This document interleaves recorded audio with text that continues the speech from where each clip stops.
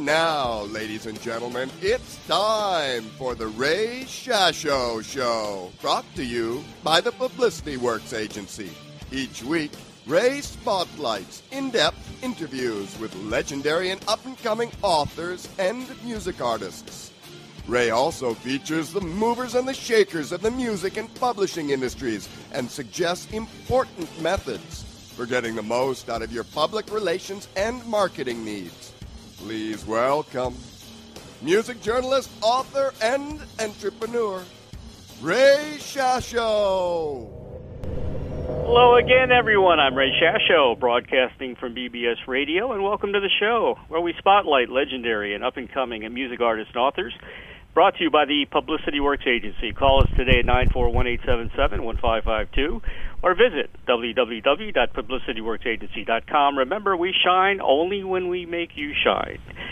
Cindy Blackman Santana is a virtuoso drummer whose artistry spans the realms of jazz and rock. As a band leader and as a music- musician, Cindy is a sound innovator with a passion for pushing creative boundaries and exploring movement and change. She is known for the nuances and color she brings her beats and fills as she is for the sheer power of her soulful playing. Santana has been creating magnificent musical time and space since the beginning of her career as a busking street performer in New York City in the 80s through the present day, touring the globe and making albums at the top of her game, including the critically acclaimed Another Lifetime. In addition to collaborating on stage and in studio with her own group, also known as Another Lifetime, Cindy was part of the Tony Williams Lifetime tribute band called Spectrum Road with Jack Bruce, Vernon Reid, and John Medeski from 1992 to 2007, and again in 2014 and 15. She was the drummer in Lenny Kravitz's band, performing through multiple world tours and hit albums. In 2010, she was part of the all-star lineup performing Bitches Brew, a tribute to Miles Davis, seminal album staged at the San Francisco Jazz Festival and New York City Winter Jazz Fest. Most recently, Cindy has become the regular touring drummer for Santana, having met several years earlier at a festival in Europe while she was touring with Kravitz. Cindy first played with Santana in spring 2010 when drummer Dennis Chambers had a previous commitment.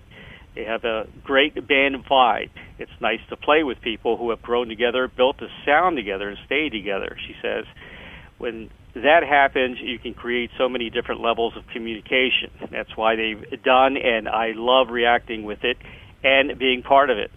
Electricity on stage generated chemistry off stage. Legendary guitarist Carlos Santana proposed to Cindy during a July 2010 concert, and they married in December. Looking ahead, they will collaborate artistically as well on projects that will no doubt reflect their shared passion for improvisation and belief in the transcendent nature of music. Cindy was an integral part of the new Santana Isley Brothers release, Power of Peace, featuring the song I Remember, which she wrote and sings and sing, write and sings. To me, she says, music is completely spiritual. It's the way you connect with your higher self with the universe. It's also a way to share light with millions of people. They don't need to speak your language, have your beliefs, or be in the same place you are. The music speaks. It channels good energy and makes a difference in people's lives. Carlos and I are both conscious of doing that. The past few months have been a blur for Cindy Blackman Santana, who is currently touring and performing with her husband Carlos Santana is featured as a vocalist, drummer, and songwriter on Power of Peace. The new Santana Isley Brothers collaboration has been touring with their own band and recording tracks in the studio with the legendary producer Narada Michael Walden. Together through Walden's Tarpan Records label, recently released the new single Fun Party Splash, featuring Carlos Santana on all digital platforms. Please welcome drummer and percussionist Cindy Blackman Santana to the Ray Shasho Show. Hello, Cindy. Hi, and thank you for having me. Dan, you've got a lot of things happening. you know what I really like Yeah. about this interview? What I like really like about this interview is me and you were born the same year. I always love to talk to people my own age because you know most of the time a lot of these legends are like you know they're getting in their 60s, late 60s, 70s. You know, and uh, it, it's always cool to because you know we we've experienced a lot of the same music and you know concerts and things like that. So, well, welcome to Yes, my awesome. age. Good reference points. you, you were born in, in Yellow Springs, Ohio, which had a population of only about 3,500. Uh, I think the census said in 2010.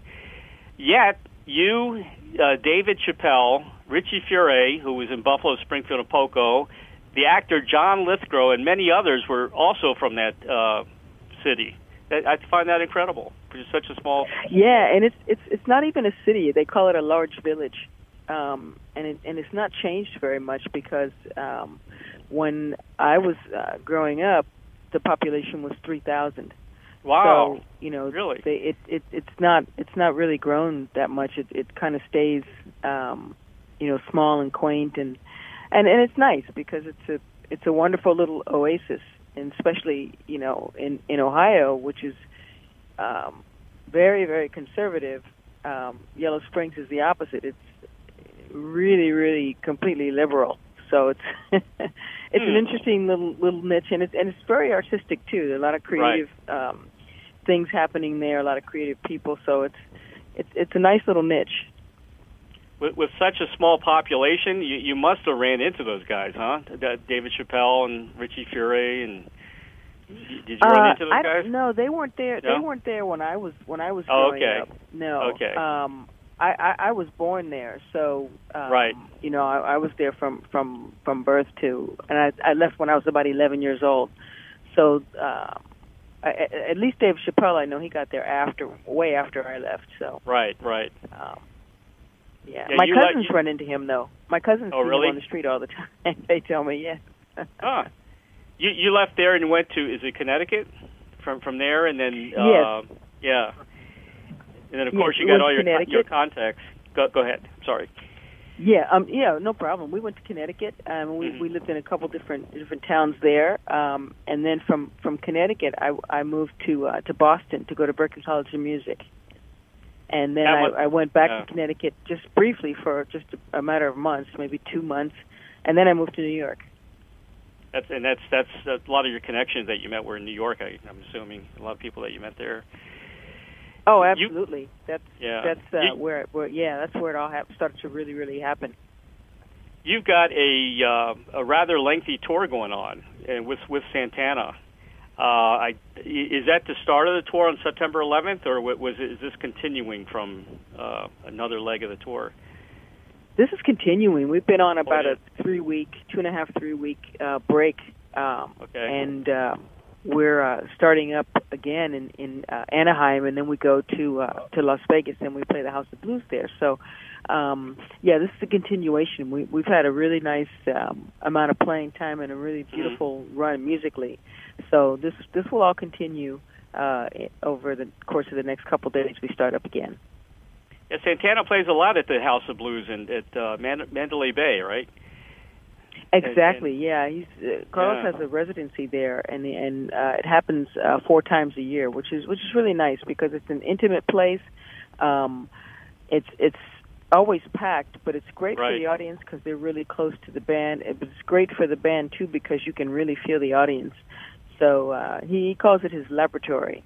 So it's a nice, it's a nice, wonderful place to play. I, yeah, a lot of a lot of guys I've talked to love the casinos. Also, you know, they they love to play. Uh, they they love to play Vegas. There's more uh, more and more uh, rock legends that are playing Vegas, and I I think it's great. I think it's a great venue. Yeah. It really is. Yeah, yeah, it is. It's nice that that there's a that there's a desire Yeah. for for the music. I mean, I'm certainly not into the casino scene at all. Um, Right. I I don't gamble and won't gamble. It's just not on my radar. Right. But the thing is that they they love music, so you know um, that's perfect. It's perfect for us. Not only are you going to be there, but you're coming to Florida. You'll be at in Jacksonville, uh, Orlando, and you're coming to the Tampa Bay area, uh, very close to me at Amalie Arena. And then, of course, you'll be at Hard Rock in Hollywood as well. So we'll definitely have to check you out in Florida. Oh, perfect, perfect. Please do let us know that you're there. Say hello. Definitely.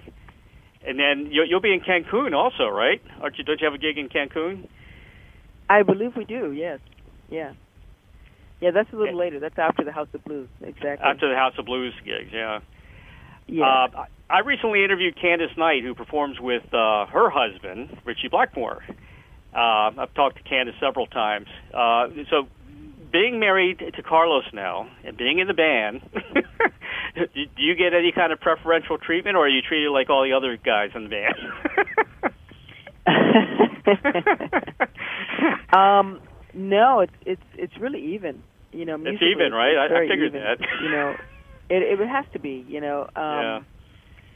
But but that's certainly the way it is, and and, and I I actually prefer that.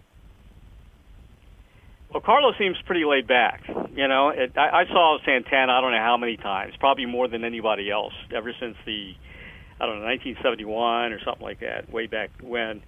And he's always been laid back, so he's, he must be pretty easy to work with.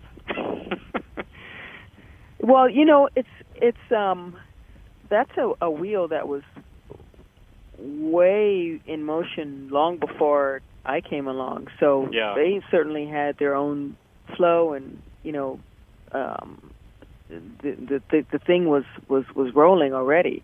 Right. You know, um, so and the flow continues. You know, I mean, I, I'm I'm a different person, so I add whatever my personality brings, and and the other new people add whatever their new personalities uh, bring to the situation. But you know, the the wheels keep turning, and and and the flow keeps going, and and I think you know that says a lot for Carlos's energy because he's been you know playing and and, and doing this for for such a long time yeah. um and you know with a lot of um passion you know and and a lot of success too so yeah it's it's it's a nice um wheel that's that's in motion and it's great to to to to be a, on that wheel and to to help you know keep it rolling.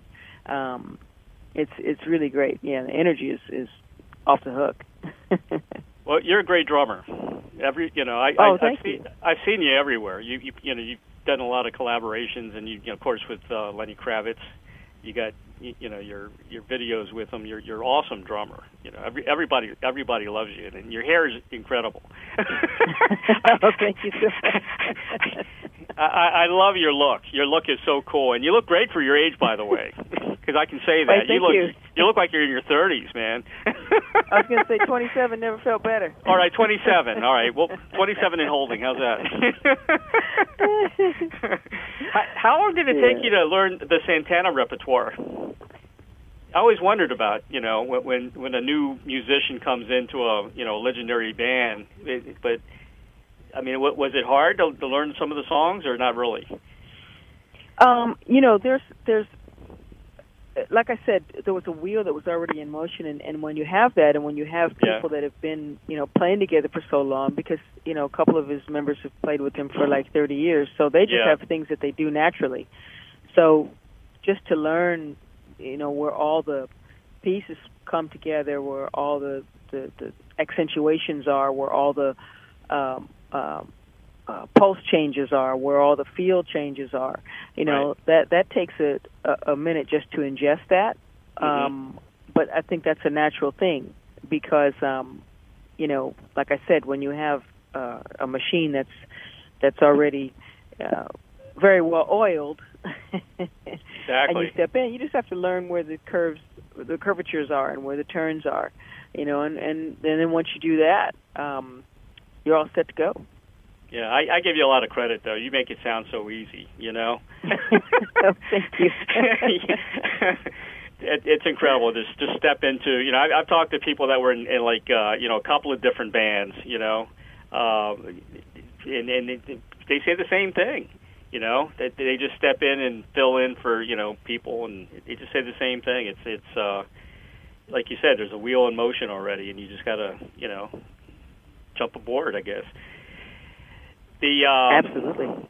you, you know, what, is it difficult to play drums um, with a conga player and the timbales player performing at the same time? I mean, does, it, does that you ever go off beat or anything with playing with these guys, or How does that work? Oh no, that's not that's not difficult at all. Not with not with those two. Um, yeah. You know, uh, you just have to uh, uh, share the space. You know, um, Mhm.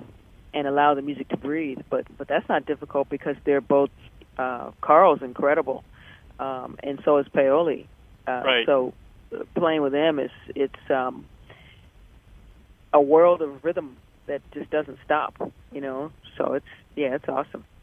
you, you got that jazz lingo. You know, when you we mentioned space. You know, I I'm, I'm kind of friends with uh, uh, Billy Cobham, and uh, he's a good he's a good guy. We've talked you know many many times together on the phone and have done interviews with him. And he teaches a lot. You know, he does he does a lot of these clinics and stuff. Is that is that something you would be into, or start uh, teaching like maybe new drummers? I know we need new drummers and and you know new blood in there. You know, I've I've done some teaching here and there, but Right. I've done some teaching here and I've done some teaching here and there, but um uh I you know, I really only want to do it if there's somebody who's really really into it. It's not something that I would would just do uh just to have something to do. You know, it would just take a, a special student or a special up and coming drummer for me to want to to do that, you know. Right. Um, I love doing clinics, and I've done clinic Mhm. tours. I've I've played lots of clinics over the years. Um, not in the last couple of years, but you know, uh, uh, previously I, I've done a whole lot of clinics, um, and I love doing that because I love talking about drums. I love being in um, an atmosphere where people are are just totally about and into the drums. hmm Um, so those are really exciting for me. Um, so yeah, and I and I look forward to doing more of those, and I, I plan on doing more of those because it's it, it, it's a a wonderful way to um, really talk about the history of drums, the lineage, and you know where where I see things, and then to to interact with the audience too. You know, you can also gain some other points of view, but it's just a nice way to to share um, a lineage um, of an art form that I think is really beautiful. Right. Yeah, I agree with you. It, it, I think uh, Billy did. He did some online teaching, you know, like by Skype, and he's got this big thing he does like every once a year. Where I mean, it's for all types of musicians, for every instrument, you know. But a lot of these guys are already have some, you know, lots of talent. I think they just want to take it to the next level.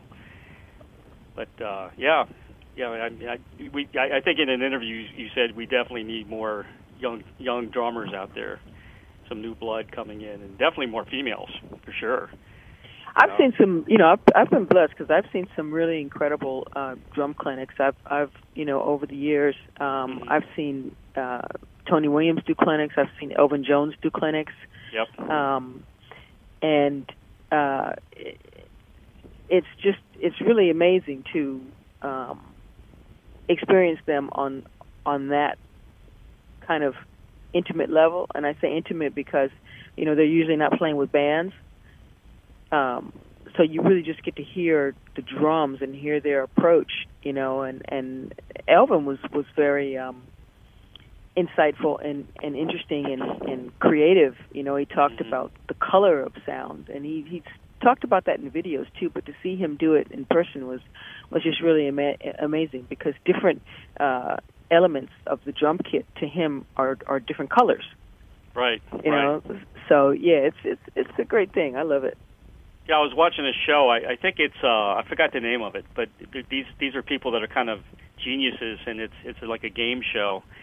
And this one girl can uh, see color in music. She can actually see the color in music, and I thought that was really fascinating.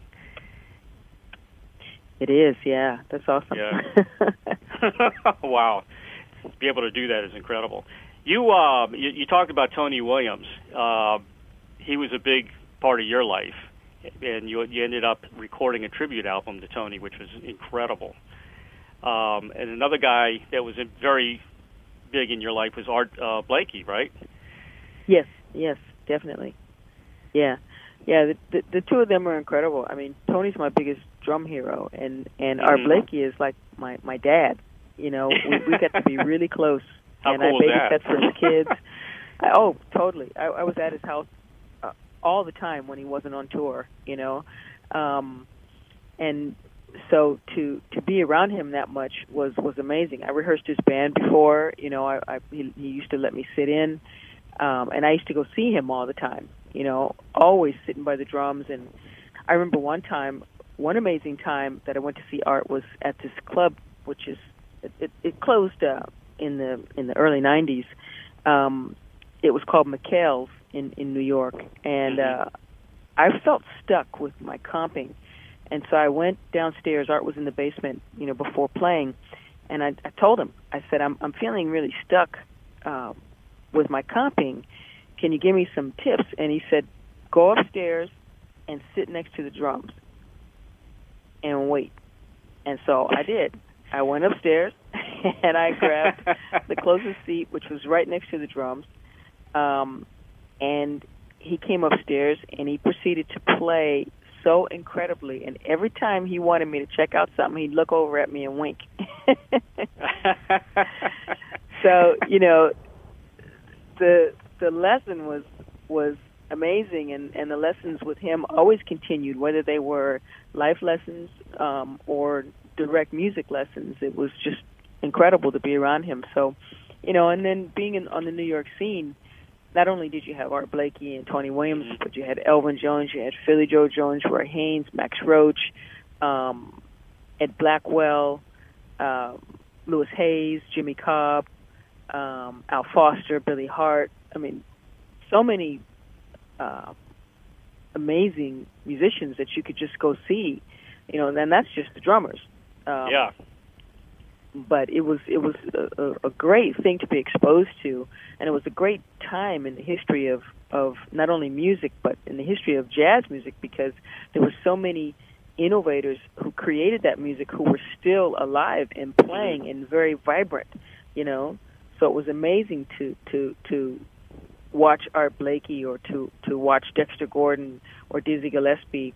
You know, these people created bebop. You know, they created Exactly. jazz. You know, Yeah. um, to go see uh, Herbie and Tony and Wayne and Ron, you know, perform. To see Freddie Hubbard, um, to see Clark Terry, all these different people that you could go see. I even saw Sam Jones. To go see him was beautiful.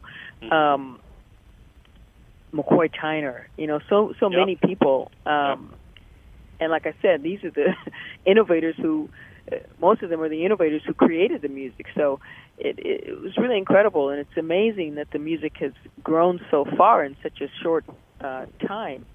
Um, historically, when you look at the, the the amount of time that uh, jazz has been ex- in existence and bebop has been exist- in existence, and then the modern form of that has been in existence. It's, it's very short, actually. Yeah. So there's been a lot of a lot of uh, um, uh, creativity and innovation that has happened really very quickly. Oh, I love jazz. I love fusion. I've always loved fusion and progressive rock, which is very intricate. You know, playing it reminds me a lot of, of jazz. You know, because they they get into a lot of that. You know. Well, it is because you know, I mean, a lot of people don't don't give him credit, but but a jazz drummer is the one who created jazz rock, and that's Right. Tony Williams. And Yep. Miles got it from Tony. You know, Yep. Miles didn't wasn't playing electric stuff before he saw Tony Williams' Lifetime. Right. Um, and Mahavishnu uh, was John McLaughlin's group, and Yep. he was playing with Lifetime. So that's all Tony's concept, you know. Um, so all those bands, all those '70s bands, whether they realize it or not, they they owe Lifetime, and all the bands after that, you know, they they owe a great debt to to what Tony did and what what John McLaughlin did and what Larry Right. Young did in that first band, and then what Jack Bruce added in that band uh, Yep. when he came along. He came along in the second record. The first record was called Emergency, um, and that was just a trio. And then the second record was called Turn It Over, and that was with Jack added. Yep. Um, and so, you know, what they created just really opened up a whole um, another realm of of expression in terms of adding different elements into the music you know and and it was exactly what Tony called it jazz rock but it was also more because they played um rhythms from from other uh uh cultures as well uh, you know like um, Brazilian rhythms, um, Mhm. Indian rhythms. Um, they played uh, funk rhythms. They played all kinds of stuff. You know, Exactly. you can even uh, see traces of classical music in there. So Yep. you know, there, there's a whole world that that they really, really opened up, and and and it gave us um, many, many more choices. Your new collaborator, uh, am I saying his name right? Is it Narada? Narada Michael Walden? Uh huh. Okay, Uh-huh. he, and he he replaced uh, Billy Cobham, I think, in Mahavishnu. He Yes, took- he took did. And he's yeah. I, I love his I love his playing. I loved what he brought to that Mhm. band because his feel uh to me um is Oh, he's incredible. really loose and open and he's Mhm. incredibly powerful, but he's also very musical. So, you know, I, I really love what he brought to that band. Well, he's got a huge history. I mean, besides being a you know a fantastic producer, he's played on so many albums. I I know he's played with uh, uh, besides Mahavishnu. Uh, gosh, he's played with so many people, He including played with uh, Jeff Beck. I mean, on one Jeff of my Beck. favorite Jeff You- Beck albums the- too. the Wired you know, album, he's, right? He's great, great musician. Absolutely. Yeah, he was on the Wired album. He yeah, played with uh, oh gosh, I'm I'm trying to remember now. Um, one of my favorite guys who was on this. One of my favorite albums was Spectrum, the Spectrum album, with uh, Uh-huh. Jack Bruce, uh, not for Jack Bruce. Uh, oh my goodness, I'm having one of those senior moments. I had to talk about age, right? with Billy Cobham, and I'm trying to think of the name of the guy. Uh, I'm trying to think about, and I can't. You know, he passed away. It'll come to me anyway. Um, anyway, I want to talk about um, your new song, your new single as well, which is really cool. I, I, I love it. It's a it's a real. It, it needs to be played every summer for sure. Thank you. what what what what? And Carlos, of course, is on the uh, on the song. What what support you have marrying Carlos Santana? you know, I mean, that's Well, that's awesome. you know, it it it it it is awesome, but that a- actually had absolutely nothing to do with it. Um, when I when I uh, met Carlos, I was looking for really, and I wasn't really looking when I met him, but Right. what I was missing in my life was somebody who was uh, on the same spiritual path and on a exactly. very you guys are a lot path. alike. You are a And- lot alike. and so- yeah. Yes, and and when I met him, um, I mean, as great as he is musically, it had nothing to do with with that. That's icing Right. on the cake.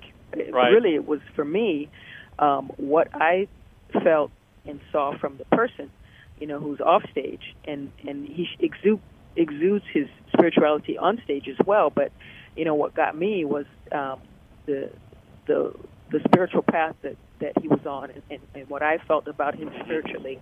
Um, and so that to me is is um, the the cherry, and then the, the icing is that he's also an incredible musician.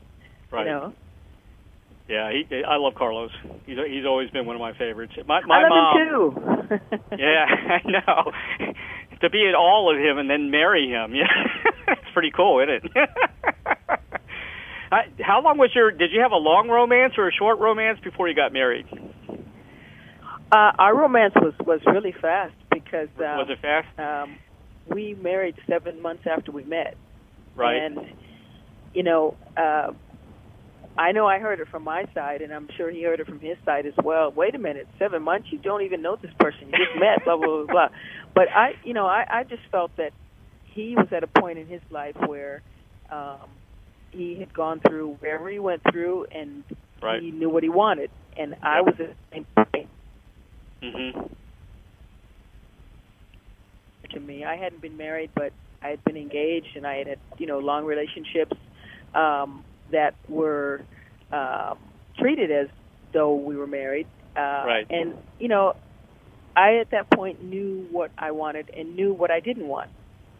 So um, I think neither one of us felt that there was a need to uh, belabor something that we both felt in our hearts was right.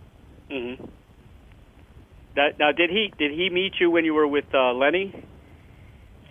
Yeah, we first met uh, actually in, in 2005, and I was Right. touring with Lenny um, Right. and we were playing a concert in Germany, and the other band on the on the uh, uh, stage, the same stage that day, was the Santana band. And my meeting with him was just a brief hi and Mhm. nice to meet you. I, there were actually no sparks. I was um, kind of dating somebody at that time, and and Right. he was was was married at that time. So Mhm. it was I, I wasn't even looking. I'm I'm a very monogamous person, so I wasn't looking that I knew in the band was the person who was the drummer at the time, Dennis Chambers, and Right. we were buddies because uh, I've known Dennis since I was about 14. So Oh. I was really kind of just hanging with Dennis, and we were watching videos of Tony Williams and and you know talking about our love for Tony and Mhm. um, you know sharing stories about Tony. Uh, and then I went to, to to play my concert. They played their concert, and that was it. Um, but it wasn't until uh, 2010, so five years later, when when Dennis couldn't make a, a, a gig and Carlos needed a sub, and uh, he called me to do it. Um, and then things were different on his end; they were different on my end. Uh, I was I had been single for for a bit of time there, and he was uh, divorced at that time um, and single. So uh, we uh, just you know sparks started to happen. There was a chemistry there, and um, Right. the, the rest is kind of history. That's awesome. Do, do, do you have any uh, Latin blood in you at all, or Uh, I do now. you do now? We have we, we have a little bit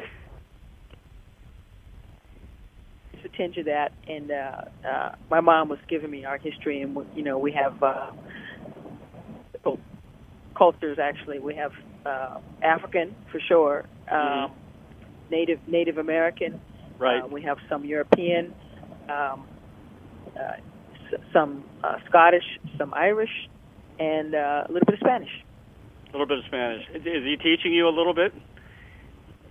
Uh, a little bit, yeah. I Yeah? mean, I took Spanish was my first language. Was my not my first language. My language in high school of choice. Right, right, Um, right.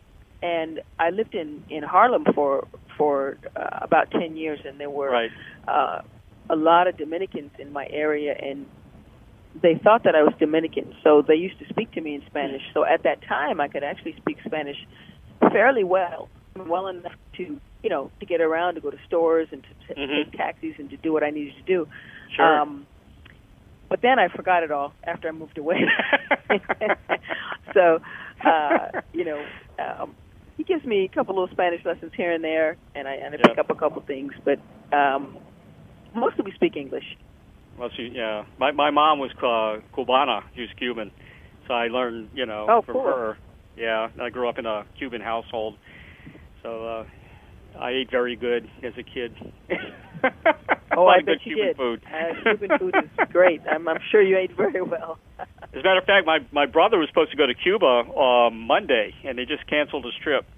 He took a, he was going to take a cruise because he was born in Cuba, and he Oh, was going to see my my my grandmother's uh, old um, apartment is still there in really good shape. So he was going to go check it out and everything, but they canceled the Wow. trip. So they got to reschedule. yeah. Well, hopefully Yeah. when the weather's better, you know. yeah, yeah. But you can you can definitely pass for Cuban. I, I I can teach you the Cuban accent if you want. I've been told, and I I, I went to Brazil, and, and they told me I was Brazilian. Brazil also. you know. You can be you can be Brazilian as well. Yeah.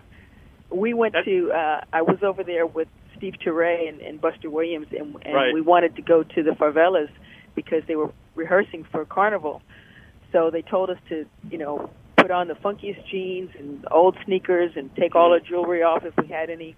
Right. Um and so, you know, they they said um Cindy, you can probably do you can probably walk around anywhere you want, just don't talk.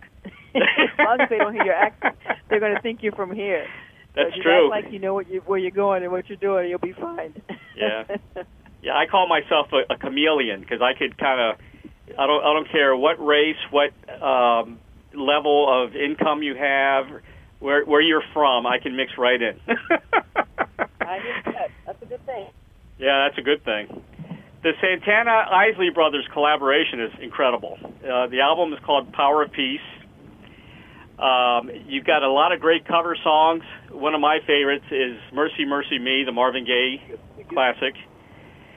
You've got a Billie uh, Holiday song. Uh, you've got Muddy Waters, Stevie Wonder's "Higher Ground," which is also another one of my favorites. That must have been uh, a fun album to do. I think you did 16 songs in four days, is what Carlos said. Yes, we did. Yes, yeah. The band was on fire. You know, it's it's a great record, um, and to to be able to to uh, play with Ron, an incredible uh, uh, balladeer. You know, he can really carry a melody. Um, so you know, when you have two people who, who really carry melodies, Carlos and Ronnie together, it really creates um, some some beautiful synergy. You know, and uh, Ernie is a, as well. He's a fantastic mm-hmm. guitar player. Um, so his addition is, is amazing, and um, the songs are all great, and, and, and they're beautiful.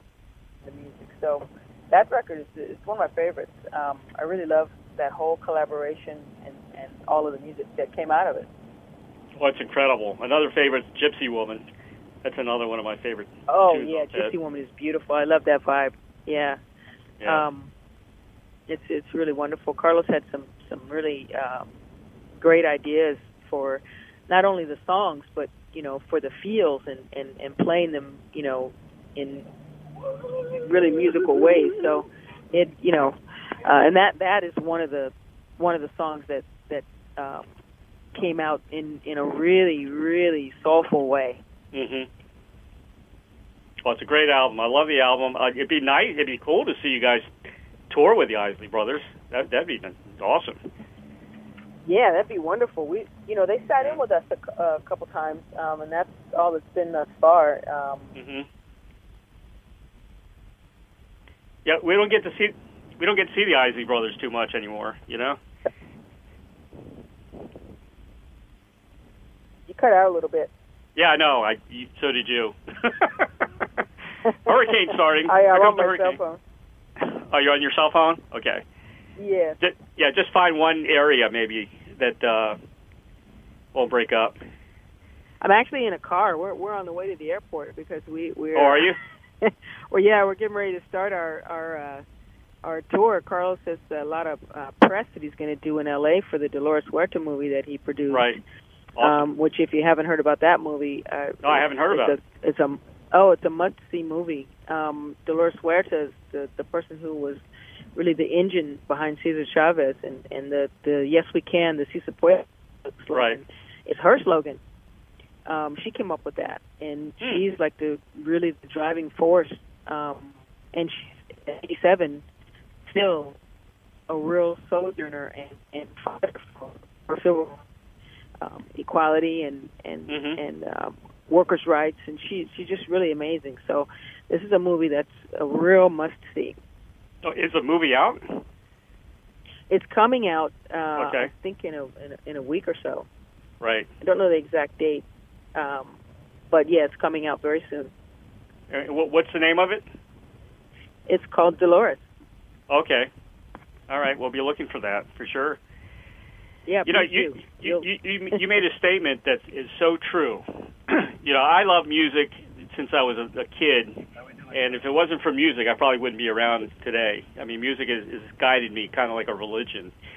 Uh, you said music is a way to share light with millions of people. They don't need to speak your language, uh, have your beliefs, or to be in, in the same place you are. The music speaks, it channels good energy, and makes a difference in people's lives. That that's that's such a powerful statement. You know that you oh, made. thank you, thank you. It's incredible, and it does. Yeah, yeah it it's does. very healing. It's a healing force. I mean, if, if you know, it doesn't matter, you know, what side of politics or religion you're in. If you guys share the love of music, that's all that matters. Pretty much. That's right. That's right. That's right. yeah, and you know, most of us timeline our lives to what songs we're playing on the radio at different stages of our lives. Because I've, I've talked to a lot of people that do that, and that shows you how powerful it is. That's right. That's right. It's, it's like I said, it's it's a healer, and, and it's you know, it, it brings people together. Um, it heals people. It uh, it it it's a communicator, and uh, you know, it it, it breaks it, it it it cuts down barriers and walls and veils that people uh, have and build up. You know. Yeah. Yeah, I, I I do worry a little bit about the uh, the genre of jazz, rock, and the blues. You know, because it's it's not uh, it, it's not prevalent. You know, in the mainstream like it used to be. You know, it should be. You know, and that's that's a shame. It should be, but but but uh, don't worry too much because I'm still breathing. As long as I'm still breathing, jazz will be alive. We, we still have you. We still have Carlos. We have guys in the blues. We have uh, Buddy Guy still around. So. Uh, Absolutely. Yeah. Are you are, are you getting out of the car and going to the airport now? You need to get off? We are. I'm so sorry, but yes, we are. I didn't okay. know that our, our flight was leaving so early, which is why I, agreed to this particular time slot. Right. Um, and when when when our flight info came in, I thought, okay, well, I'll just do the interview in the car, which sure. you know I've done so far. Um, yep. And I hope you guys don't mind. I'm really excited and, and honored to be to be here and to talk with you. Um, I hope you check out Fun Party Splash. I have a new record that's going to come out uh, following Fun Party Splash. Okay. Um, with, with more vocal songs, more instrumentals. Uh, Carlos is playing on the instrumentals and the vocals. Uh, John McLaughlin's on it. Vernon Reid oh, awesome. on it. Um, Great. Yeah, host of people. Yeah, host of people, and um, really just you know very excited about about that, and very excited about the power of peace. Uh, we've also been in the studio recording the next Santana record, so right. that's oh, going to come out too. Um, yeah, that's going to be really exciting. Um, yeah, so there's a lot of stuff you know happening, a lot of projects going on. Tell, tell Carlos I was very excited when he did that reunion album. And cause I, I, uh, I've interviewed Greg Rolie a few times, and to, to, just to see the guys back together again was incredible. Neal Schon. Oh, I will. Absolutely. Yeah. I certainly I. I really love that album. And, you know, um, I'm a Santana fan from way back. Cindy, thank you Oh, so much, man, for, for being on the show today, for all the great music you bring us, and, and good luck on the road. And uh, we'll, we'll see you in Florida. Oh, thank you. I hope so. And please, please do come to the show, and you know, please let us know so we can, you know, sort you out with, with passes or whatever it is you need. And and, and I'd love to, to shake hands and meet you in person. And, and you know, it, it, it'd be uh, wonderful to connect that way as well. That'll be awesome. Thank you so much, Cindy. Have a great have a great flight and everything, and a great tour. Oh, thank you. Thank you so All right. much. Take care. Bye bye. Okay, you too. Have a beautiful day. Bye. You too. Good luck. Bye bye. Thank you. Bye. You can purchase the Fun Party Splash single on Amazon.com and on iTunes. Uh, for more information about Cindy Blackman Santana, please visit her social media pages or website at www.cindyblackmansantana.com. You can also purchase the latest album by the Isley Brothers and Santana, fantastic collabor- collaboration called Power of Peace, also at Amazon.com. Very special thanks to the great Billy James of Glass Onion PR for arranging this interview with Cindy Blackman Santana and Doug and Don Newsom with BBS Radio for making it all happen every show. Please join me bi-weekly Mondays at 3 p.m. Pacific, 6 p.m. Eastern on the Ray Shasho Show.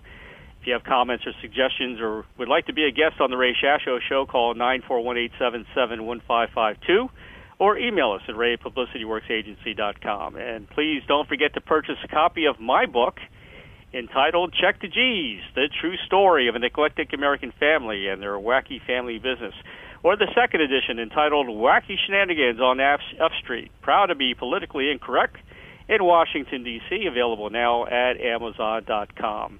You'll live it.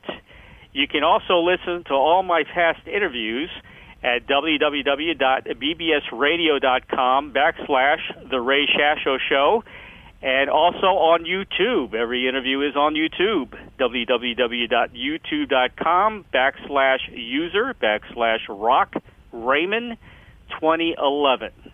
Have a great week, everybody.